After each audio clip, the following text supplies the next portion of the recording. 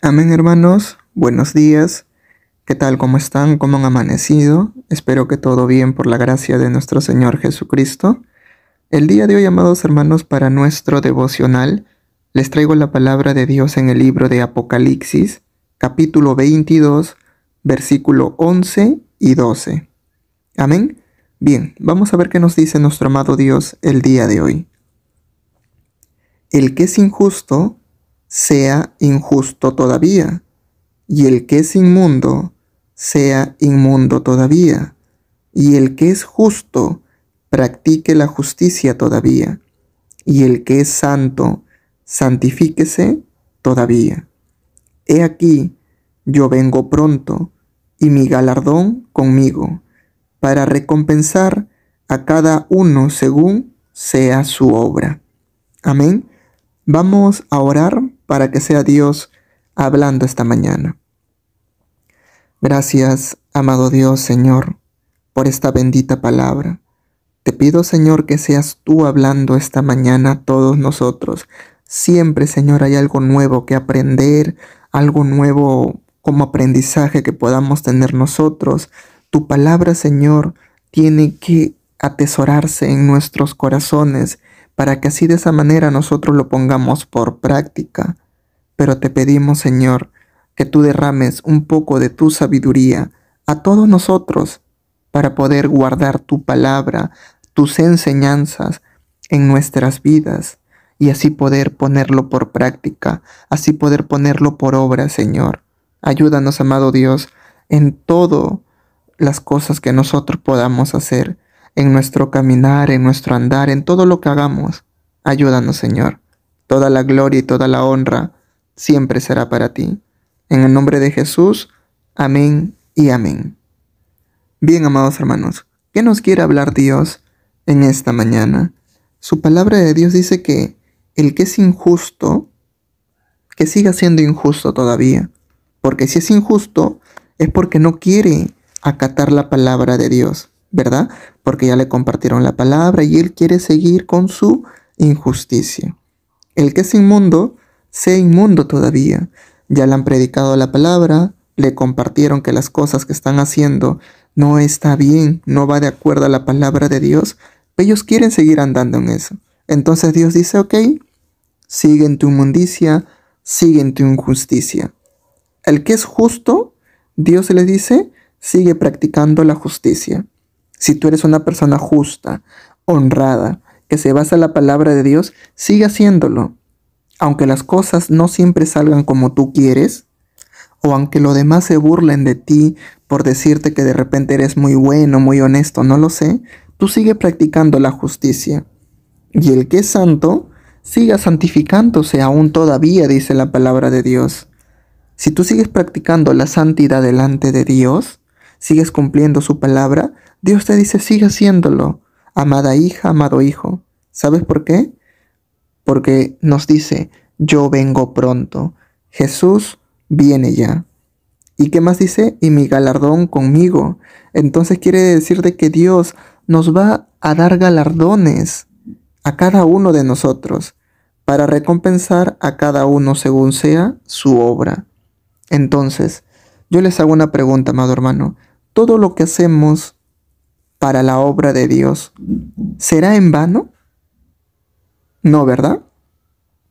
¿Todo el tiempo que invertimos en las cosas de Dios será en vano?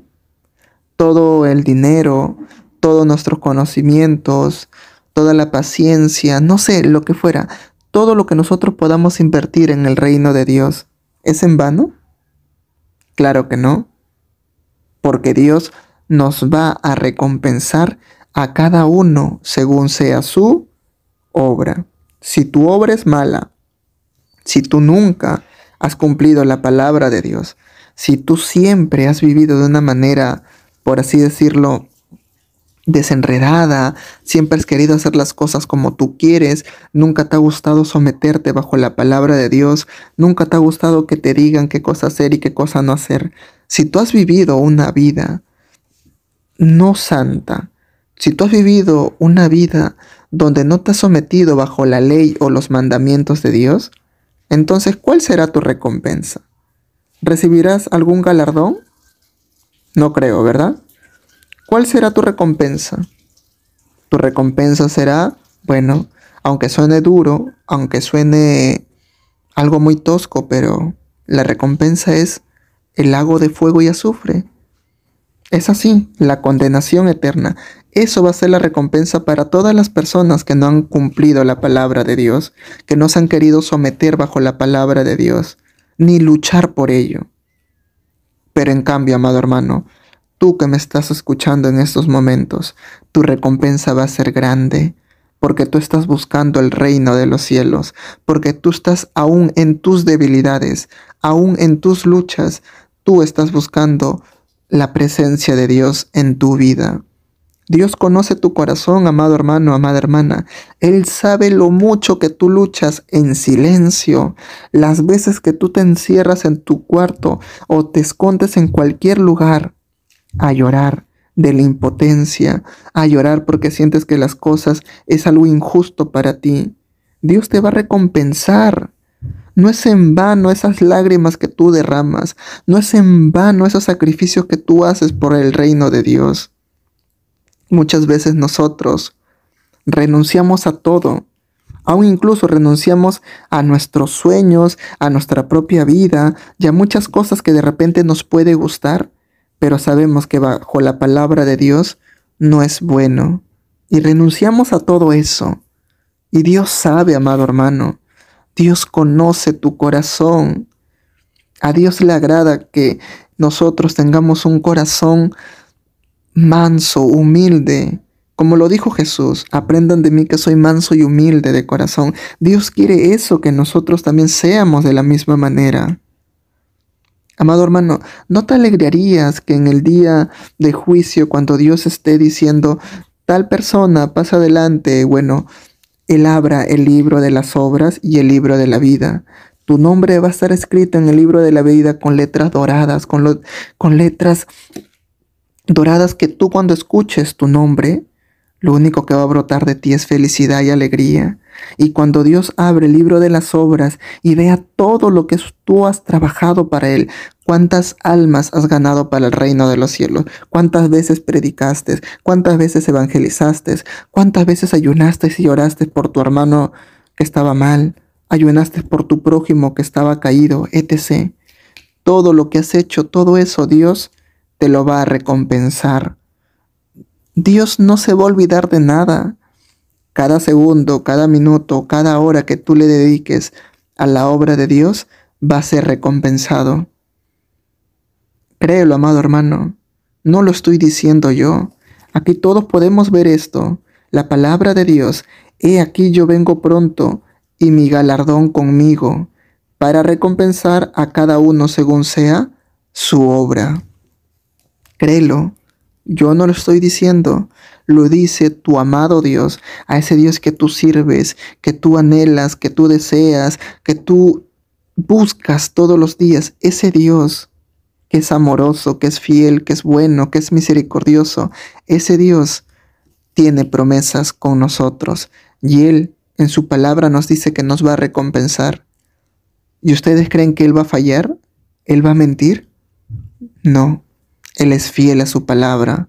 Él va a cumplir todo lo que está escrito aquí, Él lo va a cumplir. Amado hermano, la Biblia no se ha escrito por gusto. La Biblia está escrita para que nosotros podamos cumplir la palabra de Dios. Aunque va a haber algunas cosas que de repente no vamos a cumplir, pero Dios va a saber en nuestro corazón que nosotros estamos luchando contra eso. Porque va a haber muchas cosas en la palabra de Dios que de repente no podamos cumplir. Amado hermano, no es algo por la cual uno pueda asombrarse y decir, wow, pero ¿cómo no voy a cumplir? Tengo que sí o sí cumplirlo. Sí, amado hermano. Nosotros tenemos que cumplir la palabra de Dios. Pero va a haber algunas cosas que de repente tenemos que decir, Padre, necesito de tu ayuda. Si tú no me ayudas, yo no creo poder cumplir esto. ¿Se dan cuenta? Porque muchas veces con nuestras propias fuerzas o con nuestra propia sabiduría no podemos hacerlo. Necesitamos que Dios nos cambie nuestra manera de pensar, nuestra manera de ver la vida, nuestro comportamiento, la forma de ser que tenemos, las costumbres, etc. Y muchas cosas que Dios tiene que seguir moldeando de nosotros. Amén. Pero tenemos que pedirle a Dios y decirle y ser sincero, Padre, yo no puedo con esto, necesito tu ayuda, Señor, porque si no, no voy a poder cumplirlo. Y Dios es misericordioso y Él nos va a ayudar a todos nosotros. Amén. Así que, amado hermano, si tú quieres recompensa en el reino de Dios, sigue haciendo la obra, sigue haciéndolo. Primero busca el reino de los cielos, que el resto viene por añadidura. Créelo, hermano, tienes que creerlo. Amén. Vamos a orar. Gracias, amado Padre, Señor, por tu bendita palabra. El día de hoy, amado Dios, hemos comprendido que todas las cosas que nosotros podamos hacer para tu reino, cada segundo, cada minuto, cada hora que, que nosotros le dediquemos a tu reino, Señor. Todas las cosas que nosotros podamos hacer, aun incluso sea pequeña ante los ojos de los demás, para ti, Señor, es algo valioso que nosotros hacemos. Aun incluso cuando nosotros oramos por alguien, Señor, yo sé que tú lo ves con ojos de agrado, porque tú estás viendo, Señor, que nosotros nos estamos involucrando con las demás personas para querer ayudarlos. De repente no tendremos economía para poder ayudarlo, pero sí podemos doblar nuestras rodillas para orar por la persona que está caída. Y tu palabra dice, Señor, que, no, que oremos unos por otros y que nos animemos unos por otros. Gracias, Padre. Sigue ayudándonos a cada uno de nosotros, moldeando nuestro corazón, nuestra vida, Señor. Tú eres nuestro alfarero, nosotros somos barros simplemente en tus manos. Ayúdanos, Padre. Fortalece la fe de cada uno de mis hermanos, fortalece su vida espiritual también, Señor, y llénanos con tu sabiduría para poder tomar mejores decisiones en nuestras vidas, para luego no arrepentirnos. Gracias, Padre. En el nombre de Jesús, amén y amén. Dios te bendiga, amado hermano. Que tengas un excelente día.